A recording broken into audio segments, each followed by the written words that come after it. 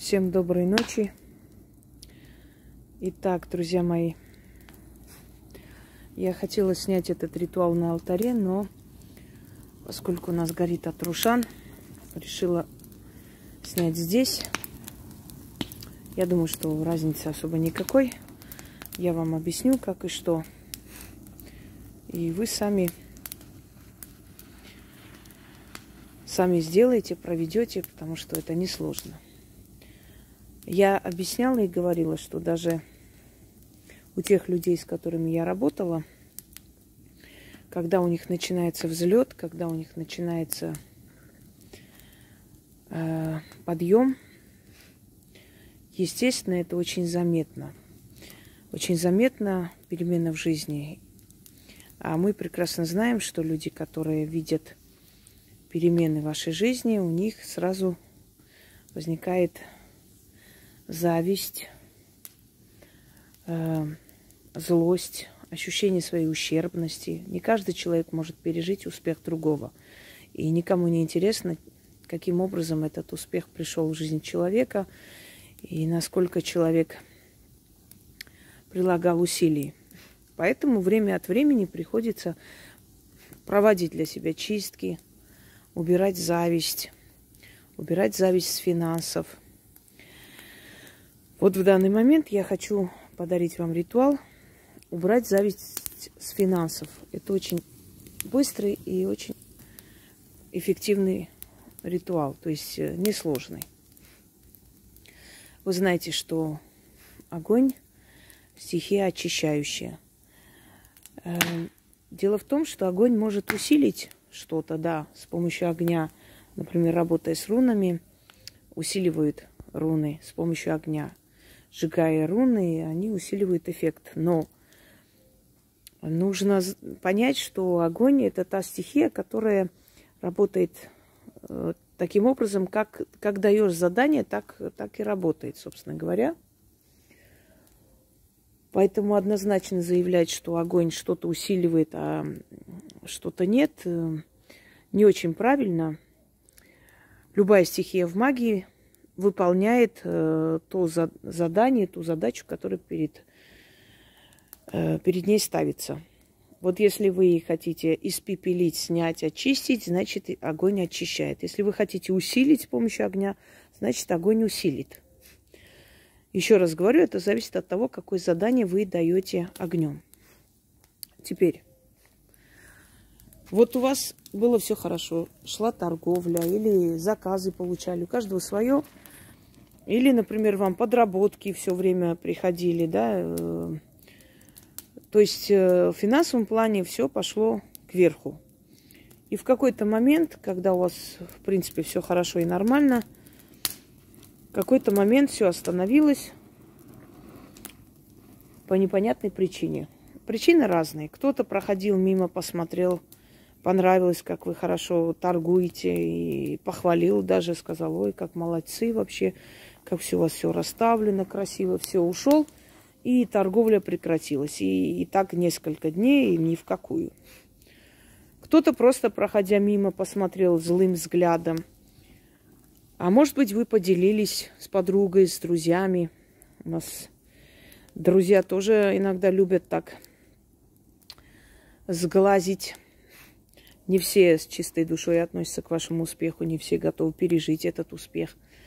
Эм, вот вы поделились, ой, ты знаешь, так прям все хорошо пошло, как-то так вот сразу такие деньги пришли, прям э, неожиданно, аж сама тут-тут не сглазить и так далее. И все. И через некоторое время вы замечаете, что у вас начинает все тормозиться, все стоит на месте, ничего никуда не двигается. Как бы вы ни старались, никак. Это значит, что ушла вот эта удача финансовая. Она может ненадолго уйти, в принципе, ее можно вернуть. Но делая ритуалы на удачу или призывая деньги, вы вернете не сразу. Потому что сначала нужно снять вот ту черноту, черную энергию, которая э, прилипла к вам, к, вашим, к вашему финансовому эгрегору, да, к вашей финансовой силе. Это убрать, и после этого уже э, ритуалы, заговоры, направленные на призыв денег, сработают лучше, сильнее и быстрее. Итак, что для этого нужно делать? Различные, очень много работ я вам дарила. Изгнать бедность, изгнать горемыку, э, много. Вот дарю еще один ритуал, казалось бы, простой, но сильный. Э, свести, свести на пятак зависть, вот эту денежную, на, то есть зависть на ваши финансы, убрать. Берете платок, любой, носовой платок или просто ну, там отрезок ткани маленький. Значит, протирайте себе руки и лицо. Потом сворачивайте в этот платок пятак, 5 рублей. Возьмите емкость, такую емкость, где огонь будет гореть. Можно, конечно, в такой костер бросить, но потом вы не найдете просто, я боюсь, что. Но если, конечно, запомните место, можно и в костре делать вот таком. Э, можно в печи, где угодно. Но главное, чтобы потом это все не потерялось. Берете пятак, заворачиваете в этот платок, кладете на дно емкости. Сверху можете налить спирт, можете налить масло, лампадные, э, любую вот горючую смесь, но осторожно, естественно. С огнем шутки плохи. И вообще такие ритуалы, когда делаете, всегда с, э, рядом ставьте емкость с водой на всякий случай. Если вдруг огонь выйдет из-под контроля, иногда, если, например, зависть сильная или порча сильная, и она снимается огнем, иногда огонь бывает очень злой. Итак, все разложили, расположили как положено. Сверху налили горючую смесь или кинули в печь. Или в печь, или в костер. Но запомните то место, что потом вытащите этот э, пятак.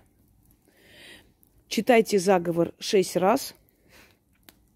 Ждете, пока э, потухнет огонь полностью. После этого подождите немного, пока остынет. Естественно, вытаскивайте. Отдельно положите. Это черный уже почерневший пятак. После чего э, на следующий день, если вы ночью делаете, это можно сделать в любое время. Если днем есть возможность, можете днем отнести в течение дня. В течение трех дней в любом случае вы должны такие откупы, такие, то есть работы выносить из дома. На следующий день выносите на перекрестке, кидайте пятак, говорите слова, отворачиваетесь и уходите. У вас резко откроется вот финансовая дорога. Просто резко. Вы даже сами удивитесь, насколько быстро опять начнутся торговля, опять начнутся заказы. Прям такое ощущение, как будто вот эти звонки все кто-то удерживал, а потом после ритуала сразу же начали звонить, как э, сговорились. Это значит, что вот эта зависть, этот сглаз финансов ушел. Итак, заговор следующий. Итак, заговор следующий. Гори, огонь, гори, гори, пылай, крадник денежный с меня снимай, сожги препятствия на пути, позволь деньгам до меня дойти. Огонь могучий, огонь священный, сожги бедность, спали бедность, кости ее испепели, меня от безденежья освободи, пусть нищета до маята в огне горит, черным дымом уходит. Свидетели мне небо и земля, и ярый огонь. Как огонь пылает, так и безде... безденежье сгорает. Как дым уходит неудержимо, так и бедность исчезает. Ключ, замок, язык. Заклято. Гори, гори, гори, огонь, гори, пылай, крадник денежный с меня снимай, сожги препятствия на пути, позволь деньгам до меня дойти. Огонь могучий, огонь священный, сожги бедность, спали бедность, кости ее испепели, меня от безденежья освободи, пусть нищета до маята в огне горит, черным дымом уходит, свидетели мне небо и земля, ярый огонь, как огонь пылает, пылает, так и безденежье сгорает, как дым уходит неудержимо, так и бедность исчезает. Ключ, замок, язык, заклято. Здесь не обязательно слова там зависть, глаз и так далее, потому что зависть, глаз приводит, в принципе, к бедности, даже к временному безденежью в любом случае. Так, э, так что здесь не обязательно указывать, из-за чего это произошло. Здесь до, достаточно указать, что вы хотите убрать. Гори, огонь, гори, пылай, Кратник денежный с меня снимай, сожги препятствия на пути, позволь деньгам до меня дойти. Огонь могучий, огонь священный, сожги бедность, спали бедность, кости ее испепели, меня от безденежья освободи, пусть нищета до маята в огне горит. Черным дымом уходит, свидетели мне небо и земля, и ярый огонь. Как огонь пылает, так и безденежье сгорает. Как дым уходит неудержимо, так и бедность исчезает. Ключ, замок, язык, заклято. Э, шесть раз читать не буду. Одним словом, как я изначально, изначально сказала, вы, вытаскивая пятак, э, уносите, оставляете на перекрестке, кидайте прямо на перекрестке и говорите, бери черный пятак, тебе пятак, а мне удачи и деньги, заклято. И ушли. И тут же опять начнутся звонки, начнутся вот это хождение, покупки и так далее. Вот как только вы замечаете, что у вас остановился поток денежный, проводите подобные ритуалы. И после этого начинайте призывать денежную удачу. Вот тогда у вас сработает намного быстрее, потому что э, прежде чем что-то сделать, нужно убрать препятствие, нужно убрать то, что мешает. Когда мешающий фактор уже убран, естественно, уже денежные заговоры, ритуалы э, срабатывают с новой силой, потому что ничего не мешает им до вас добраться.